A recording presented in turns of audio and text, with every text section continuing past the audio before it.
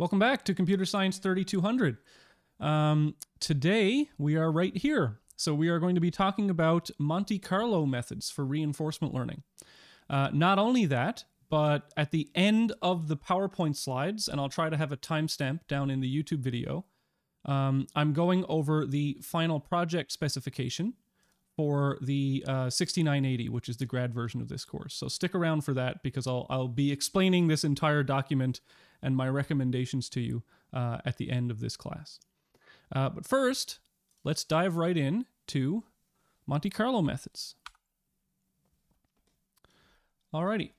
So lecture number 16, we're still talking about reinforcement learning. And uh, today is all about Monte Carlo methods. And if you want more in-depth uh, explanation of this, this is uh, chapter five in the reinforcement learning textbook is um, is Monte Carlo method. So uh, screen capture right now if you want to type out that URL, or it's in the slides if you're in the course. So, what are Monte Carlo methods?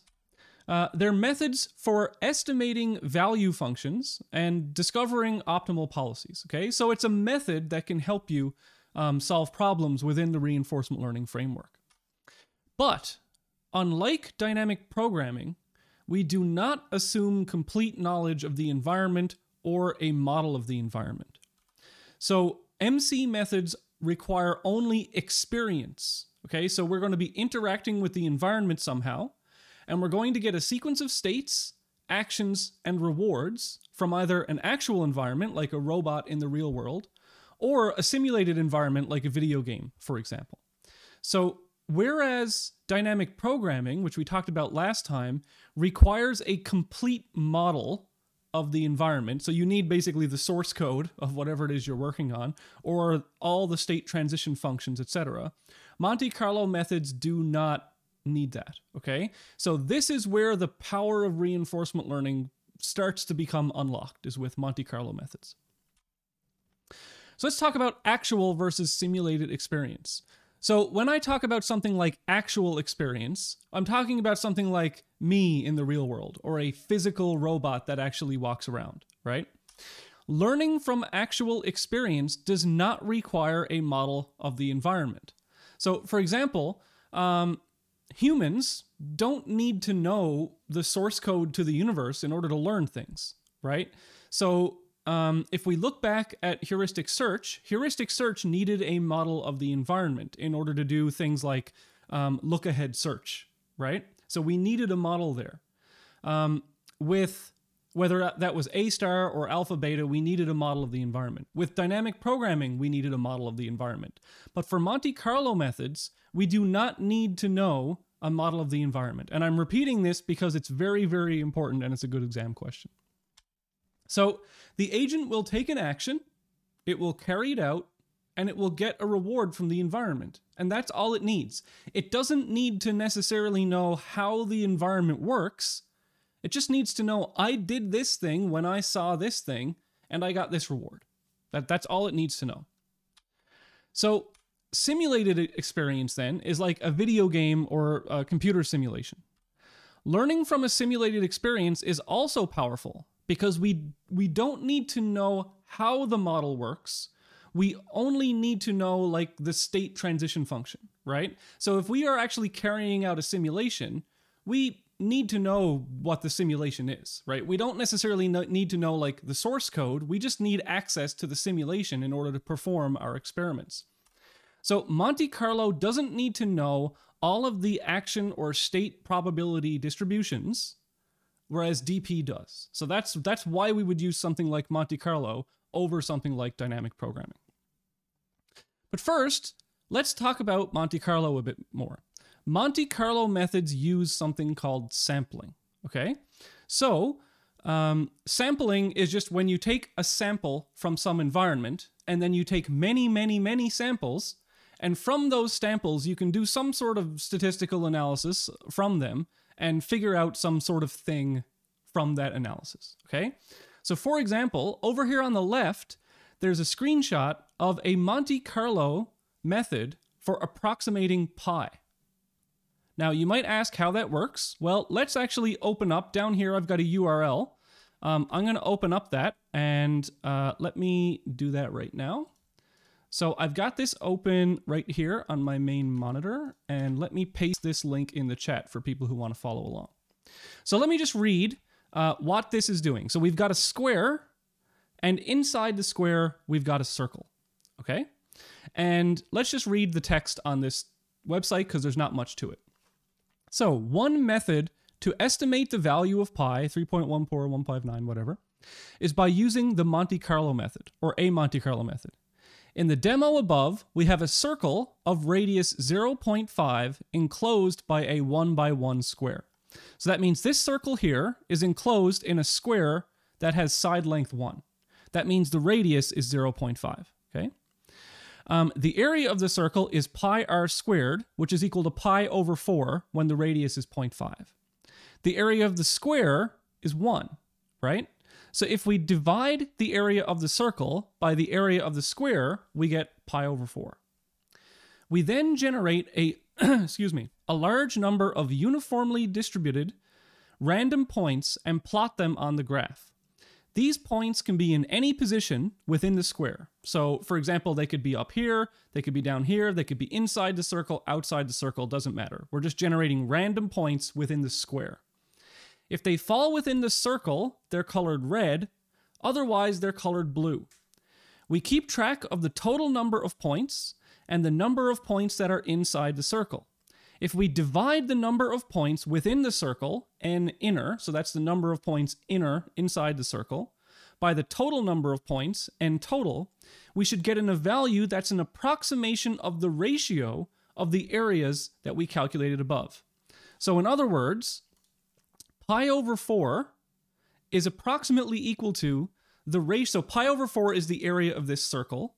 1 is the area of the square, right? So pi over 4 should be approximately equal to the ratio between the number of random points that fall within the circle to the number of total random points. Because that's the area of the circle to the, the ratio between the area of the circle to the total area of the square. And so pi then would be approximately equal to 4 times the number of points that are generated inside the circle divided the number of points outside the circle. When we only have a small number of points, the estimate is not very accurate, but when we have hundreds of thousands of points, we get much closer to the actual value. You can add points one at a time or click the animate checkbox to add as many points as you want to the graph very quickly. So let's just look at this. So we're going to click animate, and animate is going to start adding points, random points, right? If they're inside the circle, they're colored red. If they're outside the circle, they're colored blue. And pi is equal to 4 times the ratio between them. So we have we're counting the total number of points that are inserted, the total number of points within the circle, and we can see here that we have our pi estimate, which is currently equal to 3.13. But if we speed that up to add a bunch more points, then eventually, as we add tens and tens of thousands of points, our approximation of pi gets closer and closer to the actual value. Okay? So this is called a Monte Carlo method because it's taking random samples and it's doing some statistics. So right here, the statistics are is the ratio between the area of the circle to the area of the square. And based on that, we're finding out some sort of we're solving some problem that we want to solve.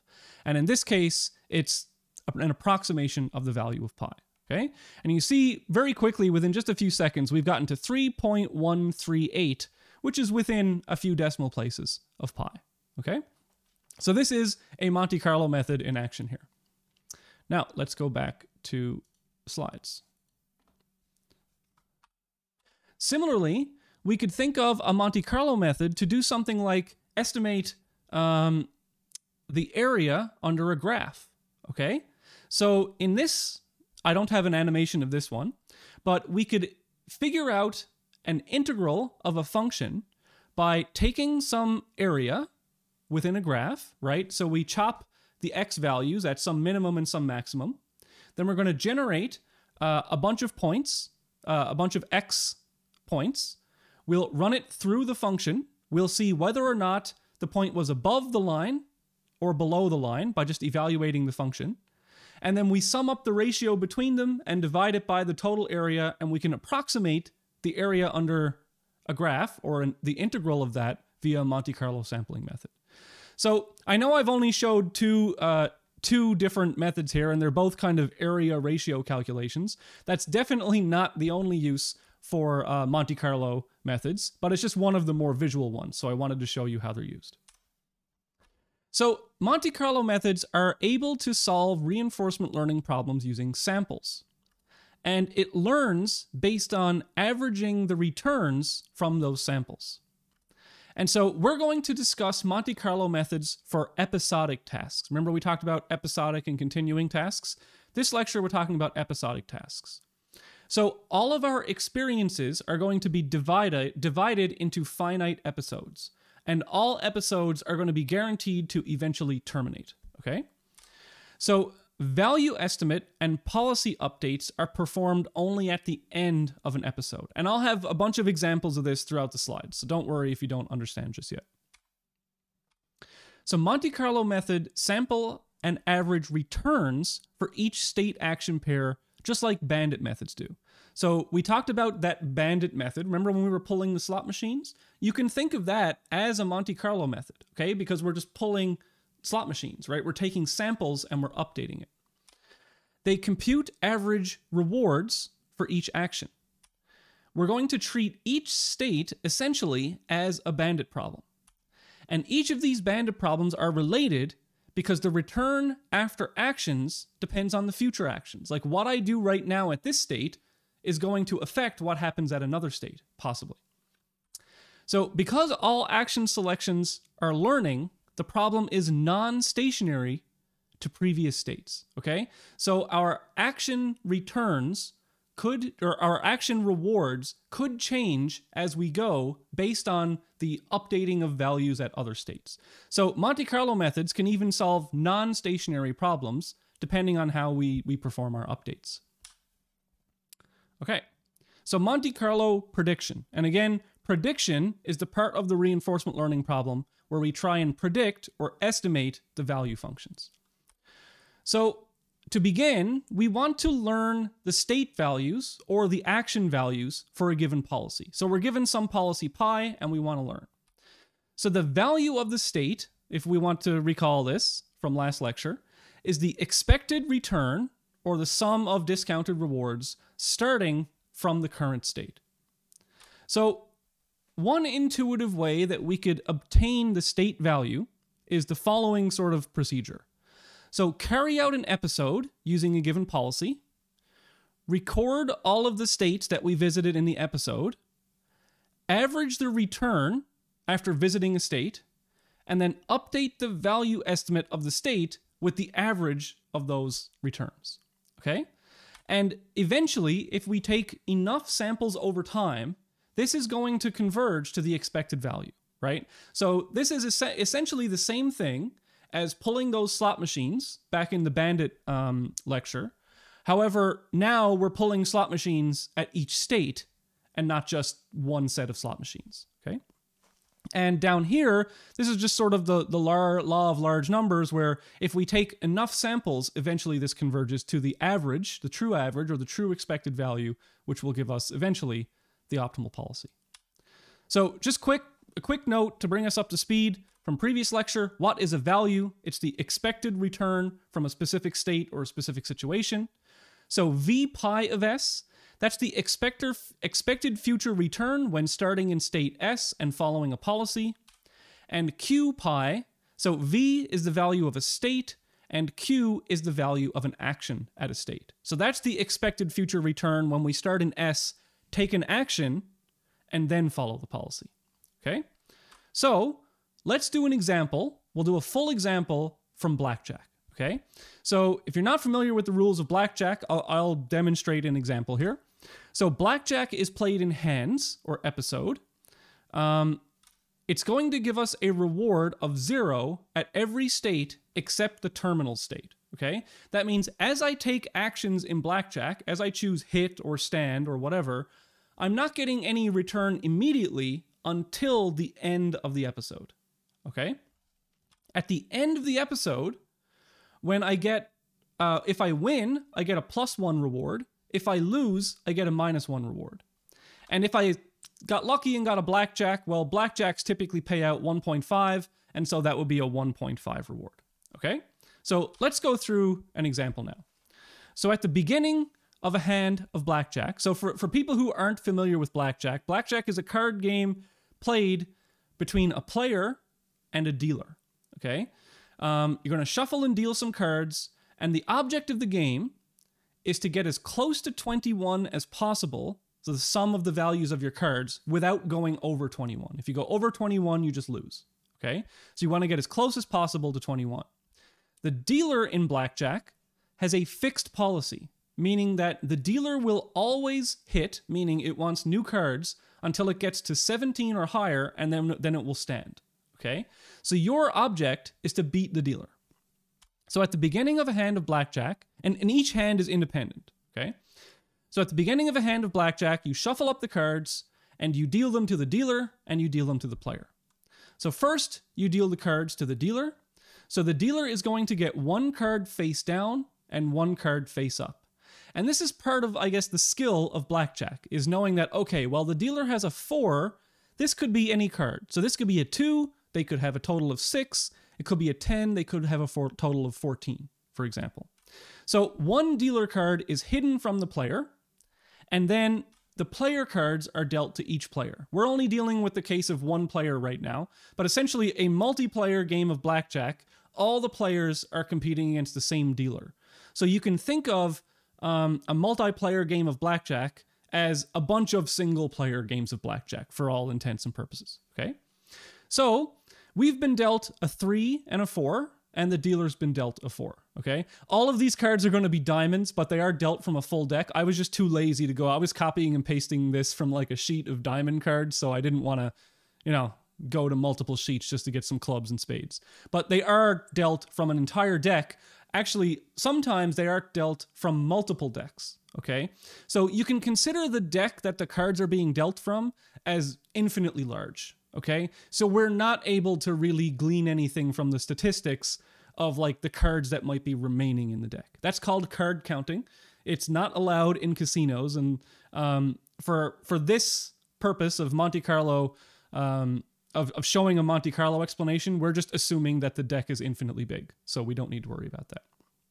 So, after the dealing of the cards, we get the starting state of our episode. Okay, so the episode starts once the cards have been dealt, and that's because the dealing of the cards is not an action right? The dealing of the cards is like the setting up of the pieces on a chessboard. That's that's where like the the episode starts now. Okay? So, we've got a 3 and a 4. That totals up to 7, and the dealer is showing a 4.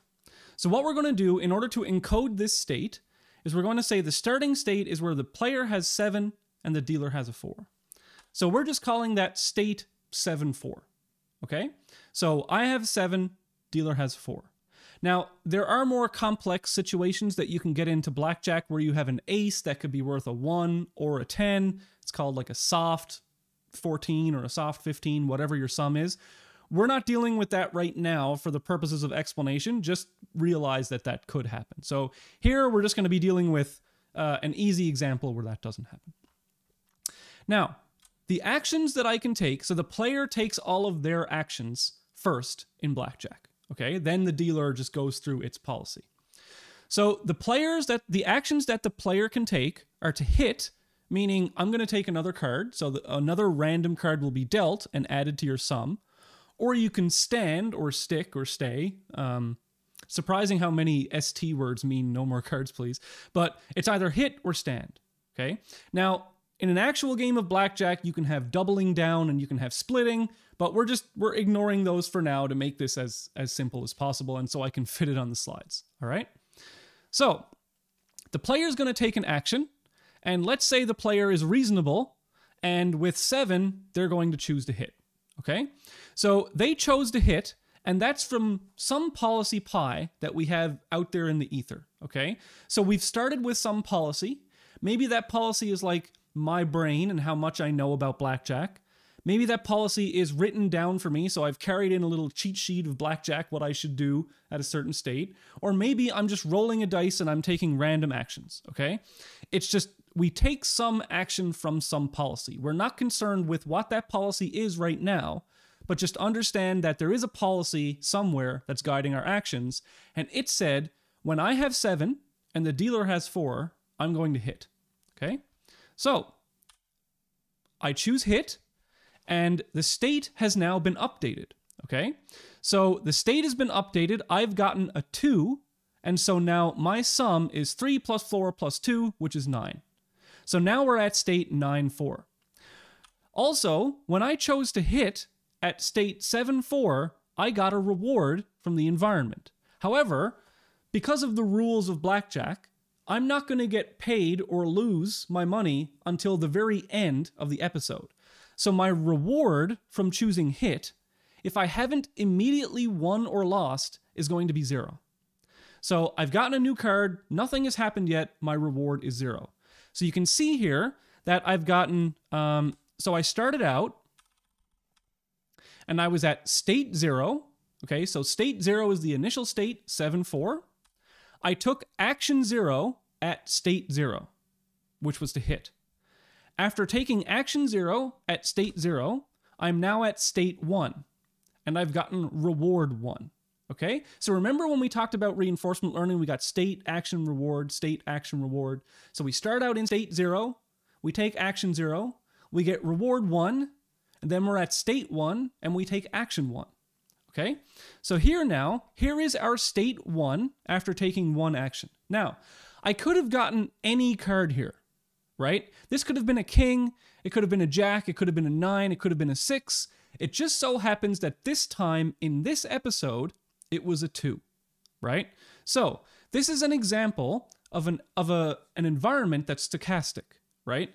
Because I was at this state, seven four, I chose an action, and the state that I end up in is pretty much random, right?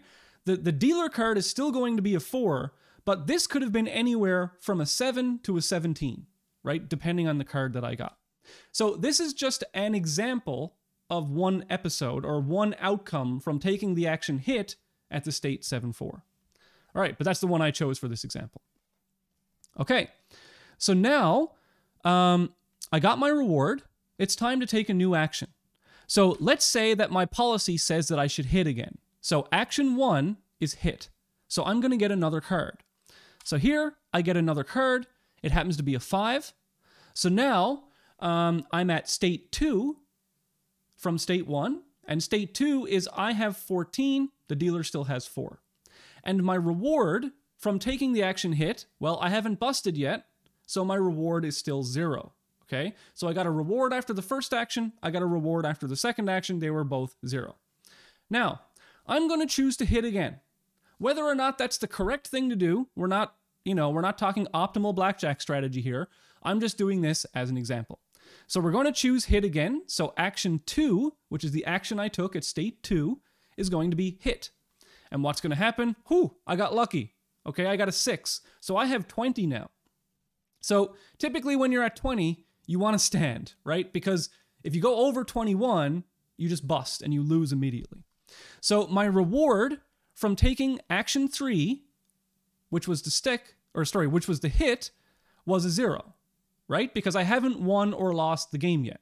So now I'm at state three. I have 20. The dealer is showing a four. Okay, let's choose to stand. All right, we'll choose to stand now because that's like a decent thing to do. My policy isn't isn't completely dumb. It's telling me when I have 20, maybe I should stand. Okay? So now what happens in blackjack, it's very interesting because you may think that now I have to go into the actions of the dealer. Okay, this is a very important lesson, and blackjack is a very good example of this. In for Monte Carlo methods for reinforcement learning, the dealer is just part of the environment. Okay? If you think about it, the dealer actually does not have any decisions to make because the policy is given to the dealer by the casino. They have to hit until they get 17 or more. They have no decisions. So when I choose stand, there is no more series of states as the dealer gets their cards. This just essentially, for the purposes of reinforcement learning or our simulation, instantly transitions into the outcome of what would happen if the dealer implements this policy. So, bam, the dealer implements their policy, and I instantly transition into another state. Okay? So, what happened? Well, the dealer ended up having a 5 as their hole card, which added to 4, that was 12. Or, uh, sorry, 9. I'm getting ahead of myself. They chose to hit because 9 is less than 17. They got a 3, now they're at 12. 12 is still less than 17, so they chose to hit, and they got a king, so the dealer got 22. 22 is more than 21, and so that's a bust state for the dealer. The dealer busted, meaning they're over 21, which is I win. Okay?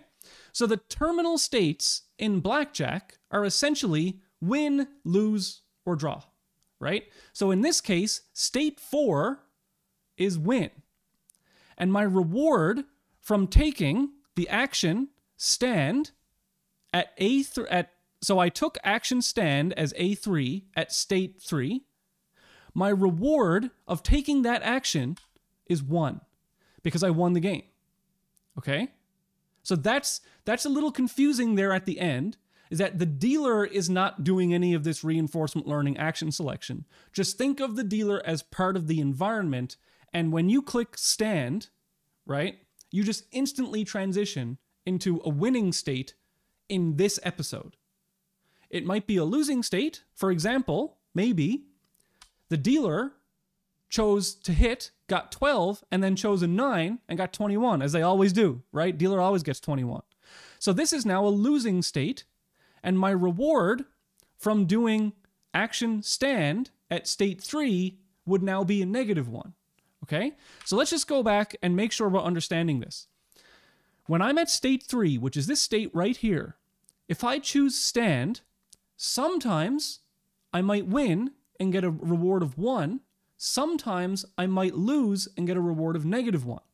Okay? That's the random nature of blackjack, right? Or maybe the dealer actually gets 20 and that's a push or a tie. And so this is like a draw state, right? We have a tie. So the reward from that episode would be zero. So the reward in blackjack is zero up until the very end. In other games, you might be winning or losing a little bit of money along the way, okay? But in blackjack, you don't get the reward until the very end. So that is one episode of blackjack.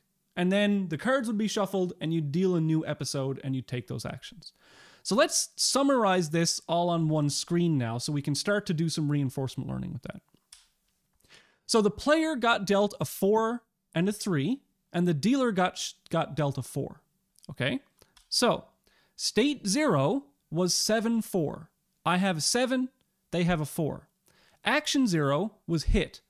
I got a 2, right? So the 2 just showed up to add to my sum. The reward, my first reward was 0 because the game's not over yet. The episode isn't over. State 1 well, I add the 2 to the 7. Now we're at state 9, 4. Okay?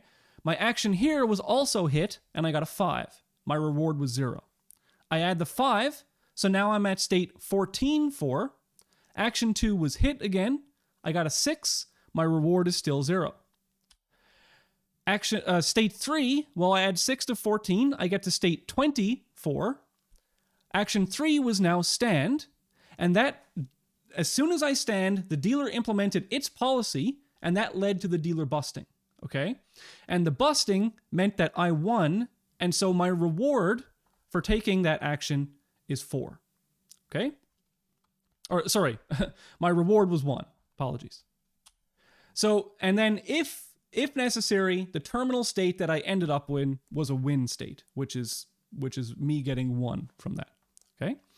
So, the state sequence that we went through was as follows 7 4, 9 4, 14 4, 24, and then, if necessary, the win state. Okay? The action sequence that we went through was hit, hit, hit, stand.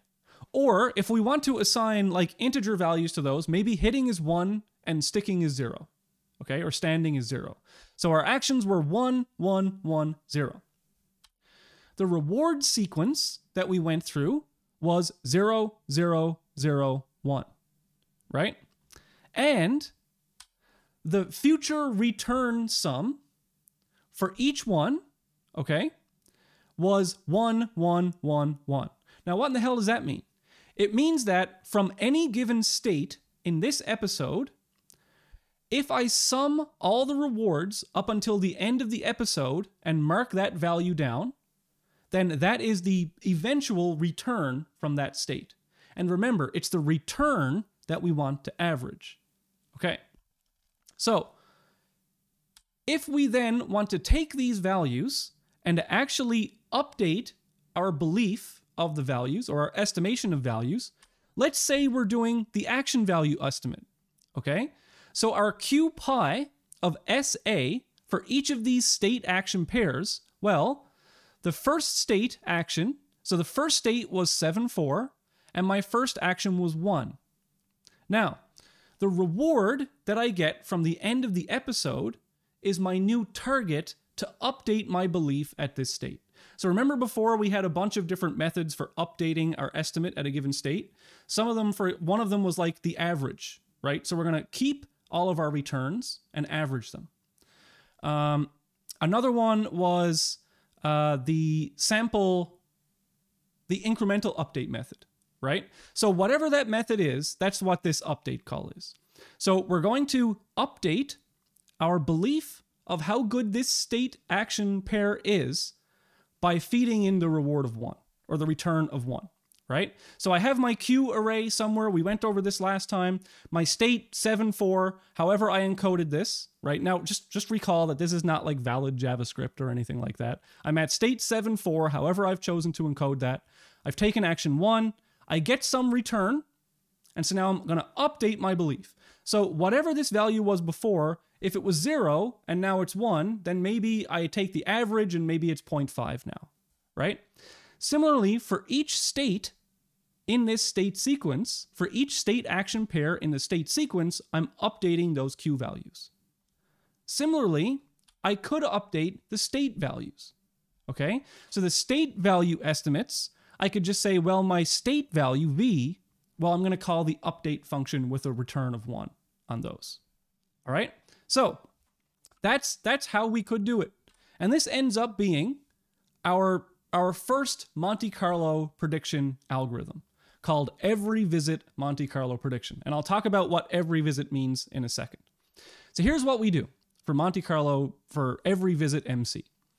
We're going to start off with some initial values for each state action pair. Remember last time when we had the bandits, we had to choose an initial value for those? Maybe they're zero, maybe they're something else, maybe they're random. Let's just say they're zero, for example. So we're going to start out with some initial values for each of our state action pairs. We're going to have returns for our state action pairs. Okay, this is an empty list for each state that we're going to be essentially keeping track of over time. So whatever returns we got at each state and each action so that we can keep a running average over time. Then, while true, so in an infinite loop, essentially, now this is not really infinite. We're going to just go for some amount of episodes. So this maybe should be while we want to do more episodes, we're going to generate an episode with my policy pi. Remember? So I just did that, that example for blackjack. So I took my policy and I generated an episode of blackjack and that ended up in state zero, action zero, reward one, state one, action one, right? So we produce this. And here's the algorithm just for time step zero to t. So we're going to go through each time step in the episode. What we do is we calculate our return, g, which is the sum. Oops, there's a typo here. Let me fix that. So here it is. Um, G is the sum of the rewards from the current state up to the terminal state, right? So from this state, we sum all of the rewards from here on, and we keep track of that. Then we're going to append G to the returns of STAT. So that's just some collection that says, well, whenever I took this action at this state, I eventually got a return of this. And then we update our Q value at state T, action T, to be the average of those returns. Okay? So all we do is we keep a running average of the returns following every state that we visited in each episode. And this really makes sense, right? We try something out, we keep track of how well we did, and then at the end of the episode, we go back to each state that we visited, and for each action that we took, we update our values to reflect what we actually achieved in that episode. So if we got a good result from this episode, then our beliefs after we do the update are going to be a little bit better. If we got uh, a poor result from this episode, um, our beliefs are going to be a little bit worse. So let me just go back real quick um, to this state right here. Okay. So let's say we are at this state where we have 20, right? And the dealer has four. Over many, many episodes, if we hit here a bunch of times, we're going to find that we bust a lot. And so we get a bunch of negative rewards, right? If we choose stand here, we're going to find that we win a lot and we get a bunch of positive rewards. So if we choose hit here, we're going to update our um, belief of how good this state is and taking that action at that state with the new better value. Or if we're hitting, we're probably going to get negative values. If we're standing, we're going to get positive values. Okay? So the value of that state is going to end up being very positive because the standing value of that state is very good. So as we play millions of hands of blackjack and we encounter this state over and over and over again, we will learn that the value of choosing stand is higher than the value of choosing hit. So when we then eventually go to update our policy, we will want to choose to stand at that state. And this is the very simple algorithm that does that. You probably could have come up with that algorithm. Now, I've got a couple of blank lines here, and I'll show you what that is in a second. So Monte Carlo prediction, we want to estimate V pi of S or Q pi of SA given a set of episode episodes that were obtained by following the policy pi right? Each occurrence of a state S in an episode is called a visit to S, and each state may be visited multiple times in an episode. Now, in blackjack, because the sum keeps going up, essentially, we can never visit the same state of blackjack twice in one hand. That's just a property of blackjack. But if we think about a pathfinding example, maybe our initial policy tells us to go in a circle and we could visit the same state multiple times. Okay? So what we just showed was every visit MC. So so first visit Monte Carlo methods estimate V as the average of returns following the first visit only.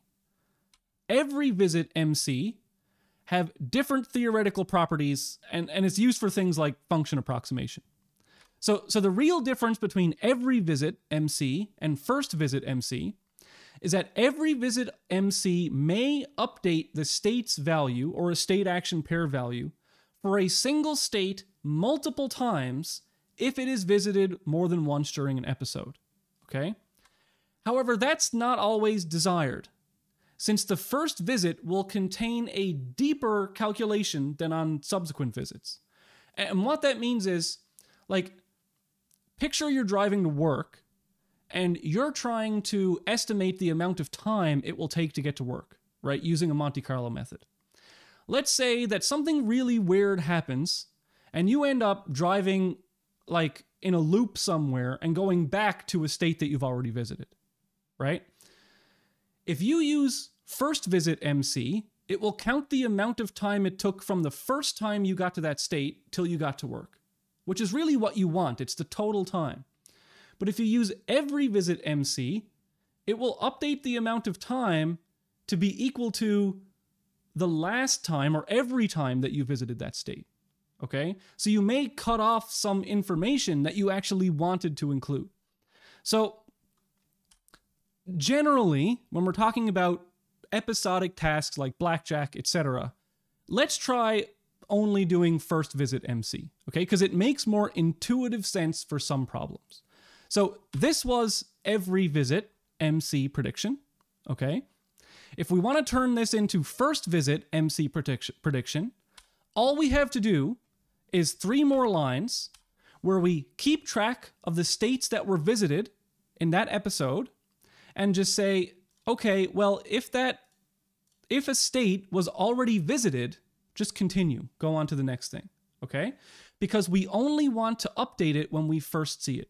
So instead of updating the the um, the average every time, we're going to only update it if it's the first time we see it, and after we do the update the first time, we add that state to the visited. So it's almost like a closed list, okay? But it's per episode. All right? Okay, so that's first visit Monte Carlo prediction. And uh, when I get to the end of this lecture, I'll be talking about the project for the grad students in the course. And I highly recommend just doing first visit MC prediction for blackjack. Okay? Well, it'll be generalized policy iteration. But and we'll get to that but I highly recommend doing first visit Monte Carlo blackjack as your project. It's very it's kind of simple, it's intuitive, it's fun to visualize, it's fun to play around with. However, I'm not going to force you to do that project, but we'll we'll talk about that a bit in a bit. But here's the algorithm if that's what you want to do. All right. Could we use dynamic programming to update blackjack? To to to sorry, to help solve blackjack? Turns out it would actually be very difficult to compute values for blackjack using dynamic programming, even though we have the model for the game of blackjack. I have the source code of blackjack, it's trivial to implement, so why can't I implement dynamic programming? It's because not only do we need to know like the model, but we need to know the distributions of the rewards, the next states, etc. So for example, if I'm at state 13 7 in blackjack and my action is stick, what is the probability of terminating the episode with a reward of plus one? Right? That's actually kind of a complex calculation. Now, if I knew all of these probabilities, and I'm sure I could go through and calculate them all, but it would be a little bit difficult, then I could use dynamic programming. But in general, for, for environments that have stochastic elements, it's kind of difficult to use dynamic programming in general because we need to know these distributions. Okay? So the distrib- the probabilities, the distributions need to be known prior to applying dynamic programming. And that's a bunch of calculations that sometimes you can't even do, right? What's the probability that I run into a wall if I apply this voltage to my robot? I have no idea. I don't know that kind of thing. With Monte Carlo sampling, you don't need those probabilities. You just play you just drive, you just experience, right? So Monte Carlo in general is more powerful than DP methods. All right. So now that we have those state values, how do we form a policy based on the state values, right? So without a model, we can't necessarily tell which actions lead to other states just using samples, okay? So we must calculate the value of doing an action at a particular state in order to know which action is best. And I just did this example, right? So think of the bandit example, think of the, the example we just did. So if you want to actually go ahead and update your policy, you can't just do the state value estimation. You need to do the state action Q update. Okay? So even though I included V there for you, it's the Q of SA that you really need in order to update your policy. And again, this is the expected return when you start in state S, take an action A, and then follow some policy after that. Okay, exploration. For many problems, the number of states and actions is actually really large. Okay, so if we follow a given policy, we will do the same thing over and over and over and over. So, what we want to do is we want to be careful to explore, meaning we should choose some actions at states that we haven't done before, right? So, also explore with states. So, we want to sample from states that haven't been visited yet. So, what this means is that, and we'll show an example of this algorithm called exploring starts later. It's just that as we go, we have to make sure that we're visiting most of the states and we're trying most of the actions at least a few times in order to do that. So, what we may have to do is something like epsilon greedy, right? Where we insert an epsilon where our policy, we're not, not always going to choose like the exact thing to do. That's greedy. Sometimes we're going to choose randomness, right? When we go to choose actions. Okay. So we've done Monte Carlo prediction, which is the updates of the estimates of the values. Now we need to do the control, which is the updating of the policy. So how do we update the policy? Well, it's exactly the same as the bandit action selection. Okay. Um, we've seen before how to estimate values given that we follow a fixed policy. So now how do we update the policy to perform better over time? So hopefully, this is the whole point of reinforcement learning, that by learning the values of QSA over time, we can learn a policy that approximates the optimal policy. Okay? And this uh, I think I talked about this a bit in the last lecture, but this process is called policy iteration. So, once we have a value estimate, we update our policy incrementally over time. And last time we showed how we can, like, we choose greedy or epsilon greedy or UCB or whatever, okay? And this is called generalized policy iteration.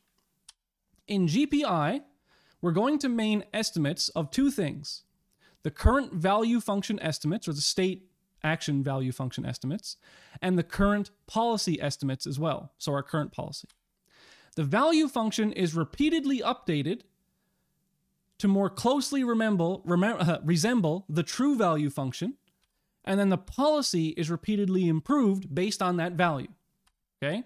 So, generalized policy iteration is the following exam question.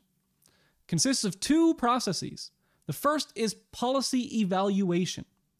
So if we have a policy and we take a bunch of samples from it, we're evaluating the policy to see what the value is. So policy evaluation is making the value function more closely estimate the value of the current policy by taking actions in the policy and seeing how they do. Policy iteration is the second part, which is making the policy greedy with respect to the current action function so that we update the policy so that it chooses the actions that we now, after we've evaluated them, know are better.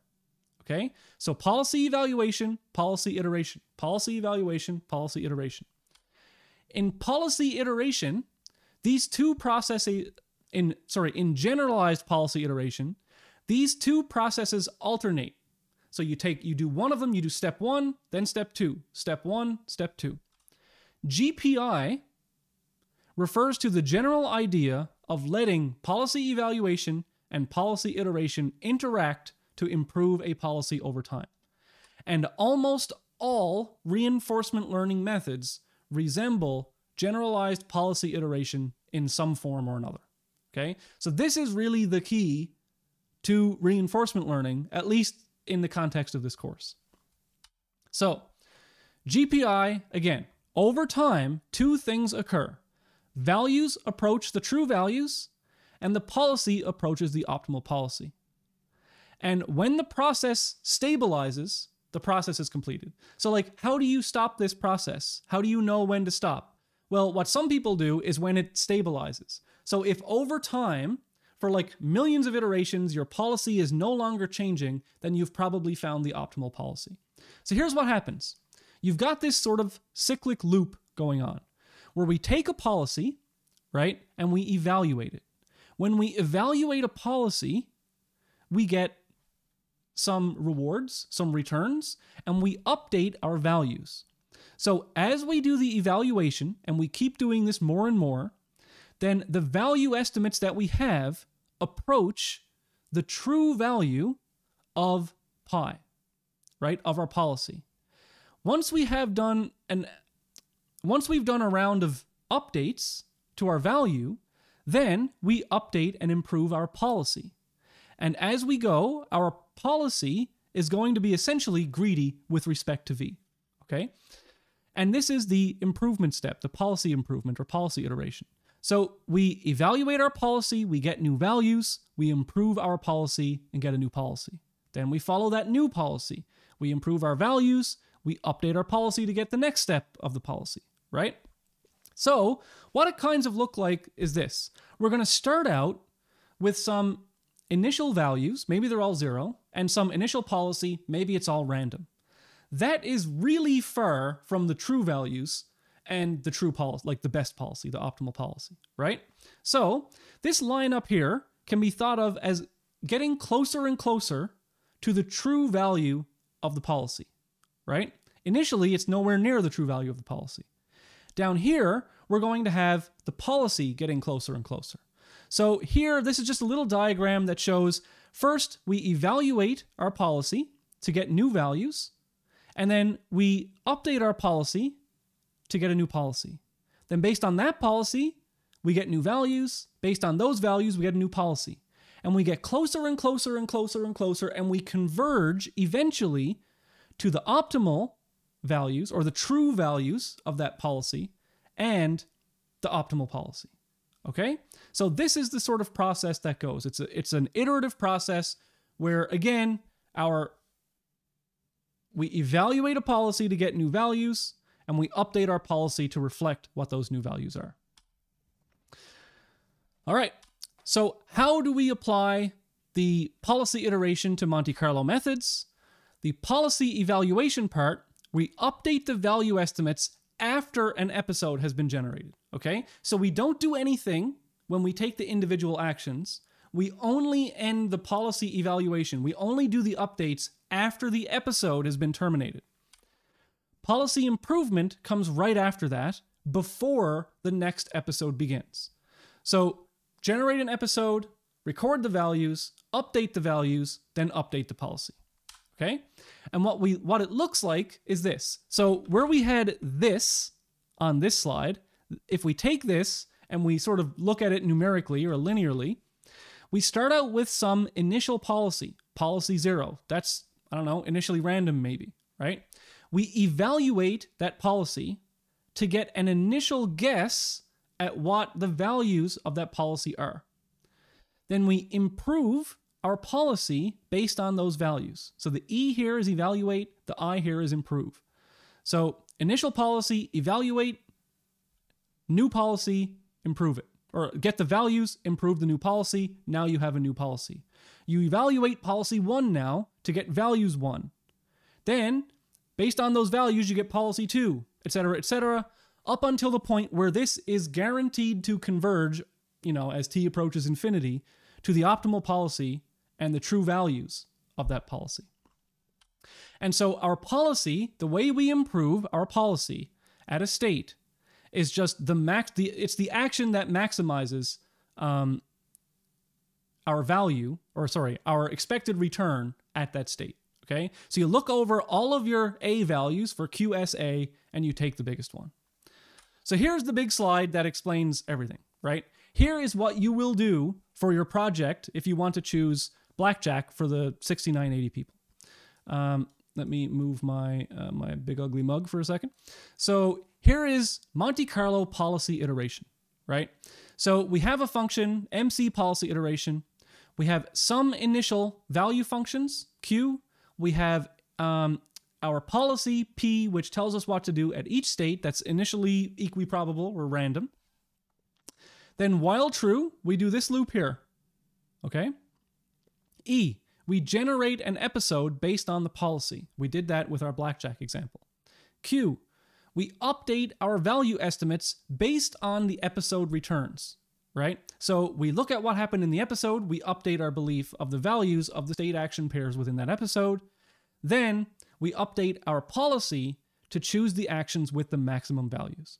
So Q estimates the true values and P estimates the optimal policy over time until we've run uh, thousands, if not millions, of these episodes. Okay? Which for Blackjack is really easy to do because it's really fast to simulate. And in the end, hopefully, what we get is a policy that looks like this. Okay? Which is hitting and standing what we do at each of the states of Blackjack. Okay, so over here is the player's hand, over here is like the dealer's hole card, and it shows us what to do, whether or not we should stick or we should hold. Okay? Or sticker hit, sorry. So I talked a little bit about exploring before. Um, many problems have large state and action spaces. And so in practice, if we start from the starting state, many state action pairs will never be visited. And so this is really interesting because what happened when people started initially applying things like reinforcement learning to games like Go or uh, chess, for example, the game of Go and the game of chess always start in the same state. And if you like reinforcement learn against each other, you get pretty good. And so what happens is you only play and learn about games of chess or games of checkers or games of Go in which both players are actually pretty good.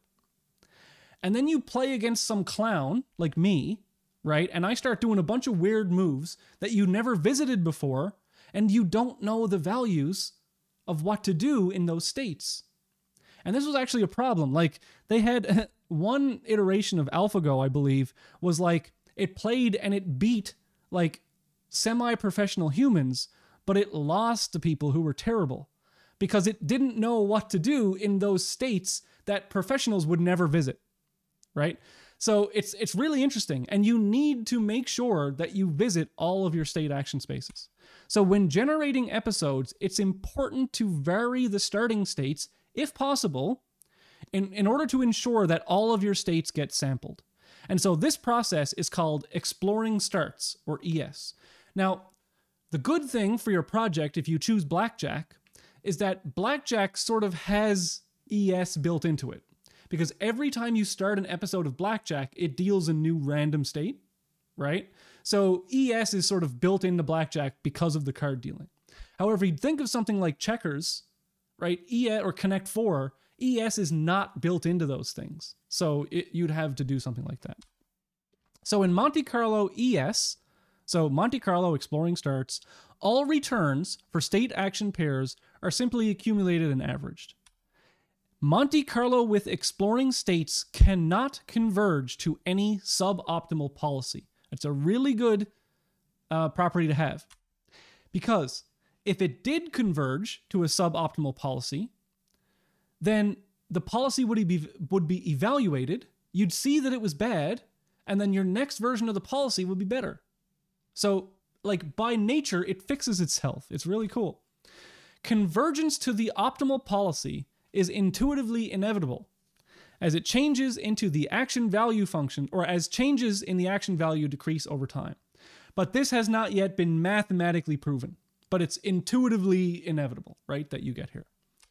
So, in practice, Monte Carlo with exploring starts converges slowly because, you know, it's hard to visit all the states in large problems. We can also explore while generating episodes using epsilon greedy or UCB, okay? And by including those randomized actions, more states get visited, more actions get sampled, and we learn more quickly. So, what I want to do now is I want to play um, a bit of an awesome YouTube video. And so I'm going to have to like uh, get my desktop audio working. So I'm going to play some of this video. And let me really quickly, oh, I have to turn on my lamp. It's really dark. There we go. So I'm going to play some of this YouTube video that does, this is a YouTube video um, from Stand Up Maths. And if you've ever watched it, you know how good this video is going to be. I'm probably not going to play the whole thing, but I'm going to play it to the point where you kind of get the idea, right?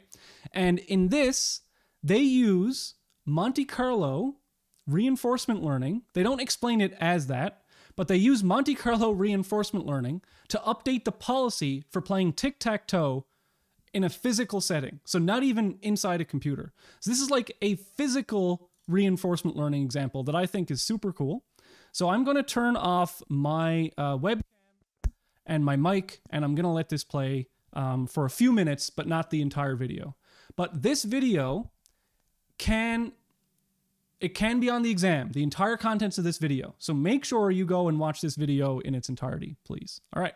So let me hide myself here. Uh, let's see. All right. I'm going to hide myself, mute my mic, and play this for a little bit. Machine learning is all the rage these days, but how can inanimate objects learn from experience? Well, to find out, I'm here at the Museum of Science and Industry in Manchester. A bunch of my maths buddies and I are positioning 304 matchboxes on a table. And this weekend, we're going to teach that pile of matchboxes how to play noughts and crosses. This pile of matchboxes is creatively named Menace for the machine educable, that's a word, noughts and crosses engine. So the great thing about noughts and crosses or tic-tac-toe is that as a game, there aren't many possible states it can be in. And each of the 304 matchboxes has a different game state printed on the front. So this is a current position the game could be in. It's Menace's turn. There are three places Menace could play. And so inside here are three beads. Um, there's a purple one, a blue one, and a white one.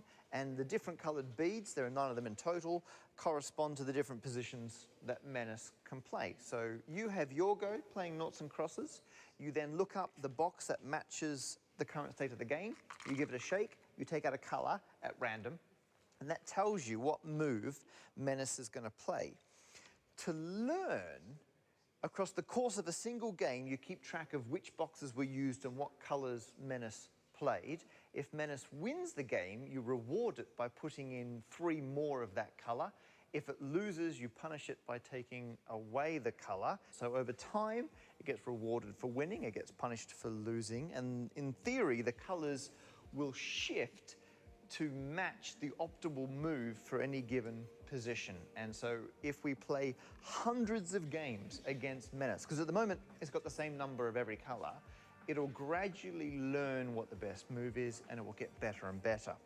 But to find out how good it can get, we have to play literally hundreds of games, which is why we're here as part of the Manchester Science Festival. There will be hundreds of people in here across the course of the weekend. They're going to play Menace, and we'll see just how good it can get.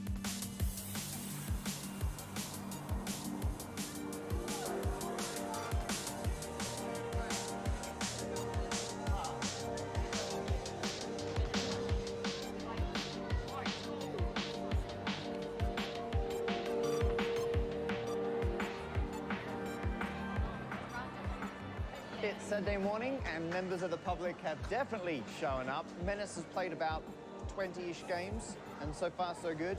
And I'm now joined by the guy whose fault it is, Matt Scroggs. So Matt, this is this is your Menace. You this made my this, fault, yes. Right. And you're a maths PhD student at UCL? Yes. Doing numerical methods. Numerical methods. Then this is very similar to this is nothing to do with numerical it methods. nothing to do with okay, right. This is just a hobby. You... Yeah, it's something I did one evening because, well, many evenings of gluing matchboxes. I was about to say, it's a lot of putting beads in boxes. I actually saw Matt talk about this at the Maths Jam conference, and I was like, we have got to get that and make a video about it, and so here we are.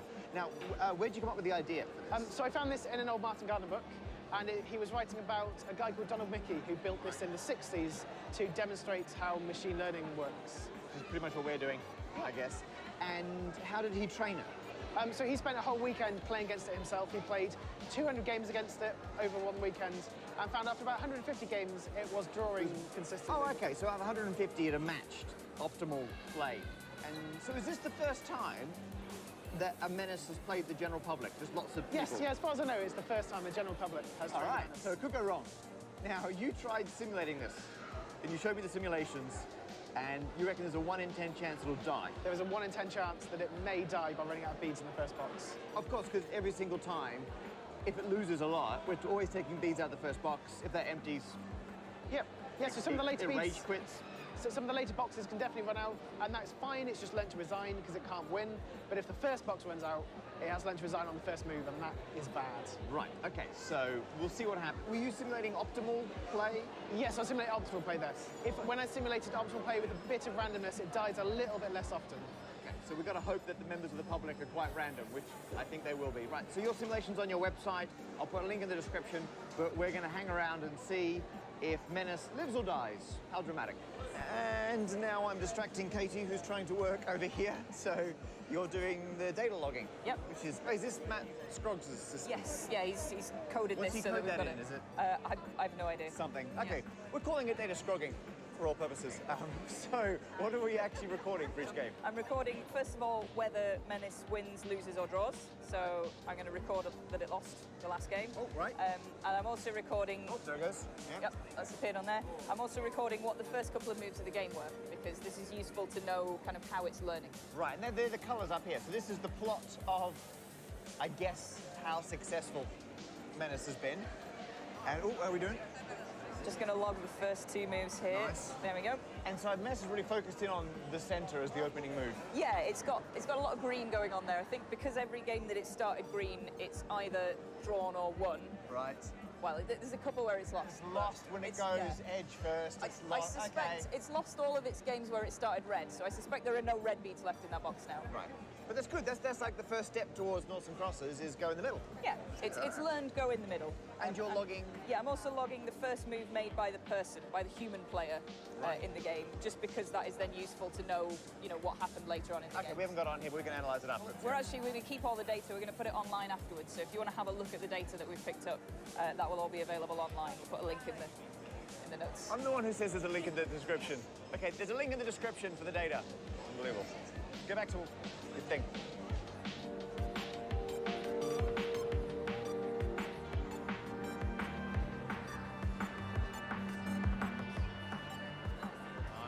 Would you like to play noughts and crosses? So I would say by which colour he's got. No, he's, he's making it very obvious he's not looking. White. White. Okay, so Menace goes here. Oh, Where would you like to go? you got it. Oh. No, no, destroy it. Yeah, don't be nice to This Menace. is how it learns. You- yeah, it's, it's got to it's got to learn from its mistakes. And the first first move is the easiest one to explain um, because in the in the first move. All right. So, um, don't want to play the whole thing, but oh, where did my where did my camera go?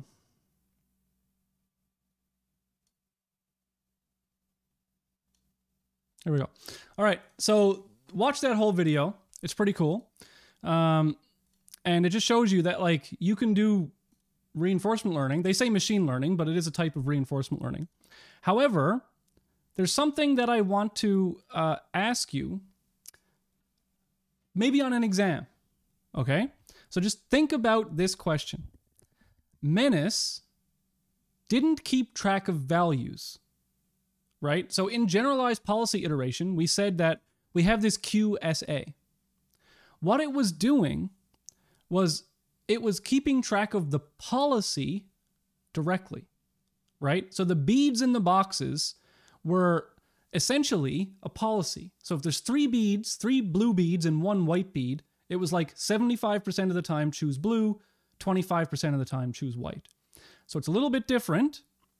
However, just just keep that in mind because there may be a question about Menace, how it works in relation to GPI on the final exam.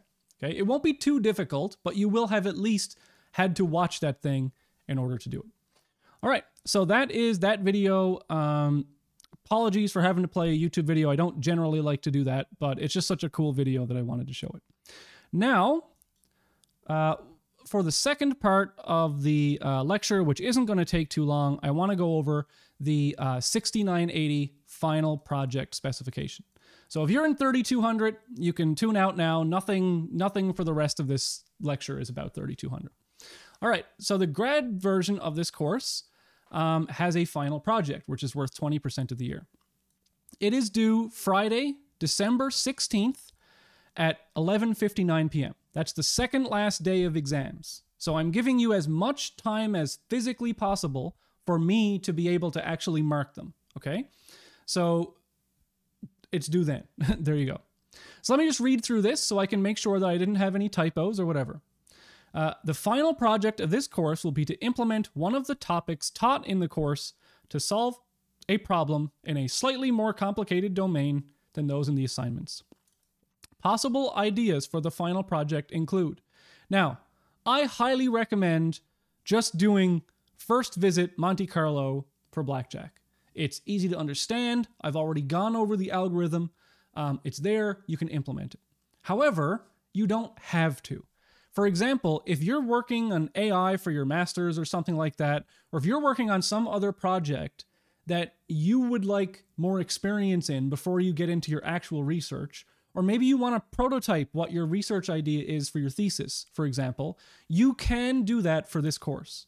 Like, but you have to use one of the methods that we taught in the course. So, for example, um, implementing additional heuristic enhancement to A star pathfinding, using larger maps, maps with additional properties such as damage, hit points, etc. Maybe you want to implement a variant of A star, like a jump point search or D star or, or other variants of A star search. That's something you could do. Um, implementing additional enhancements to alpha beta for like checkers, for example. You could make checkers and do that. Or you could use a genetic algorithm to solve some sort of interesting problem that, that you're interested in. Your project must visualize the new environment by, Rus- by writing a custom GUI with human and AI controls. So, for example, if you implement checkers, I want to see the checkers board, I want to see the pieces, and I want to be able to play against your AI just like we could for assignment three. Okay? So, just realize that you have to write the user interface for this. Now, it'll be a good example for you to do that, but don't wait too long to start on this project. Okay? Projects may be completed in groups of up to two students, so just like the assignments. The, pro- the project will consist of four main parts. Okay? First is the proposal. The proposal is due in nine days. So it's worth 10% of the total project.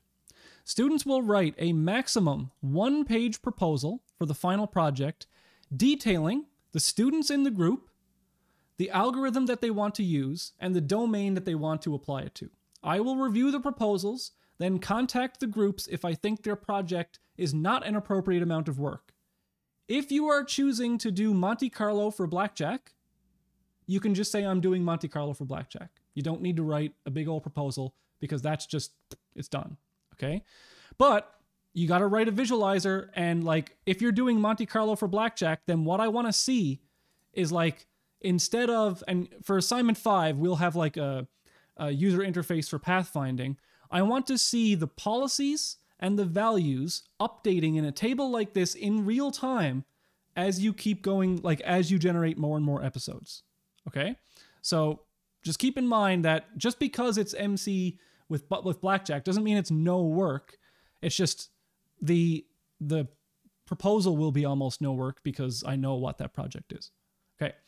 Once I get those, I'm going to immediately review them and if I don't contact you within a few days, it means that your project is fine. If I do contact you, it will be to say this is way too much work or this is not enough work. Okay? The final code and working demo of your project that you submit to me, just like you submit an assignment to me, is worth 40% of the grade. Um, students will submit their final project code to run your project, including instructions on how to install any required libraries to run the project. Please don't use external libraries unless it is absolutely necessary. Just use the default HTML and CSS and JavaScript like in, in the assignments as well as instructions on how to run the project or reproduce that are the results that are included in your report. Unless it is absolutely necessary, imp your, implement your project in HTML and JavaScripts like the assignment. So what I mean by that is if you really have this like if you're going to be deep diving into something that's like related to your thesis and that's in like C++, fine. Okay? But for the most part, just do it in C++ or and just do it in HTML and JavaScript because you can use any code that I gave you to jumpstart your project. So let's say that you're going to be doing uh, checkers. You can take Connect 4, you can do take all the visualization stuff that I did for that, all the user the UI elements and you can just change it to be checkers. Okay? So it's a it's a good head start if you use the stuff that I gave you. The final report is worth just as much as the final code. So Students will submit a final report delivered as a single PDF document. The written report of the project should include the sections detailed on the following page. So I'll get that to that in a second.